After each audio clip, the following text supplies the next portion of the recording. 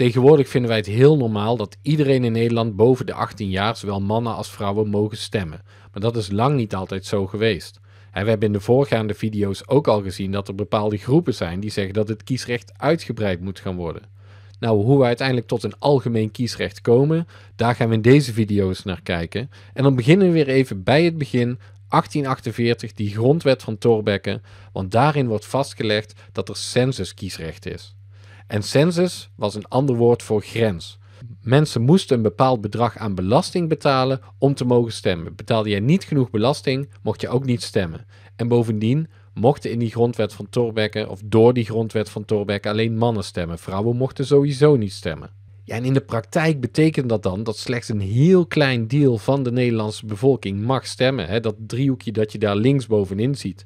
Dan heb ik ook nog die bovenste top heb ik nog door twee gedeeld, die hogere burgerij, omdat vrouwen dus niet mogen stemmen. Alleen mannen mochten stemmen. En dan gaan we dus vanaf 1848 in de tweede helft van de 19e eeuw zien dat er verschillende groepen gaan zijn die zeggen dat het kiesrecht moet worden uitgebreid. En de eerste groep, dat zijn de zogenaamde links-liberalen. De liberalen die langzamerhand toch een beetje verandering willen. Niet alles zomaar bij het oude willen laten. Uh, liberalen zaten vanaf 1848 altijd in de regering, want die hadden hun aanhangers vooral bij die hogere burgerij. Dus die mannen die mochten vaak al stemmen. Maar links-liberalen zeggen van ja, misschien is het toch wel goed voor de samenleving als het kiesrecht langzamerhand, geleidelijk dus, uitgebreid wordt. En dat bijvoorbeeld ook vrouwen mogen stemmen. Nou, een andere groep die we al eerder ook zagen, dat zijn de socialisten of de sociaaldemocraten, die dus zeggen van ja, uh, het kiesrecht moet uitgebreid worden, want wanneer arbeiders mogen stemmen, dan uh, komen er ook regeringen die opkomen voor die uh, rechten van die arbeiders en dan komen er ook meer sociale wetten, zodat de leef- en werkomstandigheden van die arbeidersklasse beter wordt.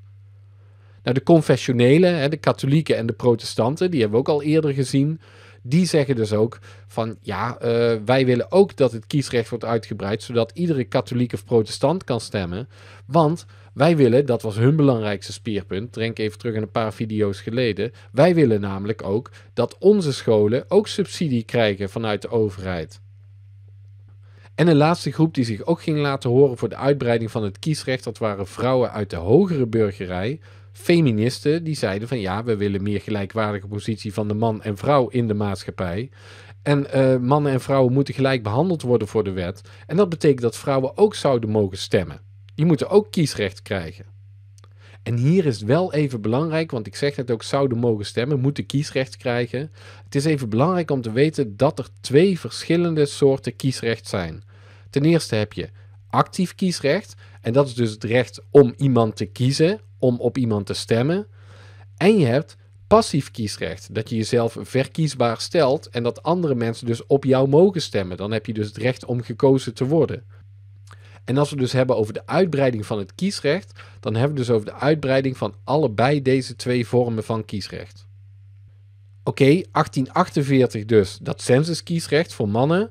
Maar in 1887 vindt er een wijziging plaats van de grondwet en daarin wordt het zogenaamde caoutchouc-artikel vastgelegd. En caoutchouc dat betekent rubber. En waarom er voor die naam is gekozen, dat wordt je zo hopelijk duidelijk. Maar wat wordt er bepaald? Nou ja, daar wordt voortaan bepaald dat uh, er geen censuskiesrecht meer is, maar dat mannen die bepaalde kentekenen van geschiktheid en maatschappelijke welstand vertonen, dat die mogen stemmen. Nou, dat klinkt heel vaag. Ze hoeven dus in ieder geval niet meer een bepaald bedrag aan belasting te betalen. Hè. Die, die census die valt weg. Maar wat dan wel? Wat zijn dan kentekenen van geschiktheid en maatschappelijke welstand? Nou ja, om er een beetje een voorbeeld van te geven. Uh, dat kan bijvoorbeeld betekenen dat als je een bepaald salaris verdiende, een bepaald inkomen had, dat je dan al mocht stemmen. Hè. Dus als je veel verdiende, mocht je door dat caoutchouc-artikel ook stemmen. Of als je bijvoorbeeld een eigen woning had. Of uh, een bepaald bedrag aan huur betaalt, zodat je een hele grote woning waar je huur voor betaalt, dan mocht je ook stemmen. Of als jij bijvoorbeeld had doorgeleerd op school, een bepaalde opleiding had gevolgd, dan mocht je ook stemmen. Ja, en dit is dus nog steeds wel een beetje vaag. Het is niet meer zo'n harde grens als dus, nou je moet zoveel belasting betalen. En er waren dus meer mensen die ook aan die andere uh, voorwaarden bijvoorbeeld voldeden. Maar het is dus wel een beetje vaag van, ja, wanneer is het dan wel goed? En wat is dan een bepaald salaris? Wie bepaalt dat? Hoe hoog moet dat zijn? Nou ja, en daar komt dus ook die naam caoutchouc rubberartikel vandaan. Want door die vaagheid van dat caoutchouc-artikel kon dat kiesrecht steeds verder worden uitgebreid. En net als een rubberen elastiek kon je dat steeds verder oprekken. Want je kon bijvoorbeeld dat bepaalde salaris, dat kon je steeds verder omlaag brengen. Of dat bedrag dat aan huur moest worden betaald, kon je steeds lager maken, zodat meer mensen konden stemmen. En we zien dan ook dat langzamerhand dat kiesrecht gaat worden uitgebreid. En dit is dus de situatie in 1848. Maar dat Kautschuk-artikel, dat zorgt er al voor dat een uh, ja, grotere groep uh, mannen mag gaan stemmen. Nou, in 1896 volgt er nog een keer een grote uitbreiding van het kiesrecht. En uiteindelijk in 1917 komt er algemeen kiesrecht voor alle mannen. Alle mannen mogen dus zowel kiezen als verkozen worden. Voor de vrouwen, de rechterhelft van deze piramide, die zie je dat ik nu ook een beetje heb ingekleurd. Vrouwen krijgen in 1917 namelijk passief kiesrecht. Ze mogen nog niet zelf stemmen, maar er mag wel op ze gekozen worden. En zo zie je dus dat er in 1917 algemeen mannenkiesrecht is en passief vrouwenkiesrecht. Twee jaar later wordt de grondwet nog een keer aangepast en dan krijgen vrouwen ook actief kiesrecht. Dan mogen zij dus ook zelf naar de stembus gaan. En dit betekent dat er vanaf 1919 algemeen kiesrecht is, zowel voor mannen als vrouwen in Nederland. Maar de grote verandering zit dus in 1917, die grondwetswijziging. En die grondwetswijziging die noemen we ook wel de zogenaamde pacificatie, vrede sluiten eigenlijk. Uh, want er zijn een aantal uh, problemen die moeten worden opgelost. De eerste is dus die hele kiesrechtkwestie, hè, van die uitbreiding van het kiesrecht. Nou, daar is net eigenlijk over gegaan. In 1917 wordt dus in de grondwet vastgelegd dat er algemeen mannenkiesrecht en passief vrouwenkiesrecht is. En twee jaar later dus dat algemeen vrouwenkiesrecht. Maar bij die grondwetswijziging van 1917 komt er ook een einde aan die schoolstrijd, hè, waar katholieken en protestanten, die confessionelen zo voor streden. Want in die grondwet van 1917 wordt vastgelegd dat ook bijzondere scholen, dus christelijke scholen, dat die ook geld krijgen van de overheid.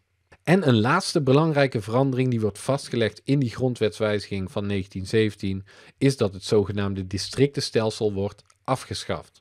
Nederland was verdeeld in 100 districten, want er waren 100 plekken in de Tweede Kamer. En uit ieder district ging kandidaat met de meeste stemmen naar die Tweede Kamer toe. Nou, dat stelsel wordt vervangen door een stelsel van evenredige vertegenwoordiging. En dat betekent eigenlijk gewoon dat er wordt gekeken naar het totaal aantal stemmen dat er wordt uitgebracht.